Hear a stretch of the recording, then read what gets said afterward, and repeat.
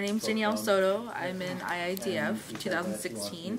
Um, I really like this program and I've accomplished, I think I've accomplished a lot. Um, I've learned a lot, um, especially how important pre-production is to make your, when you're in production lot smoothly and your post-production more smooth.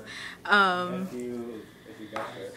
I have written and directed my short film, Can't Get Enough, and it's been great. It's been a great process. Um, it's at first it wasn't easy directing actors, and then it kind of got a little easier after that, and yeah, it's been a great experience.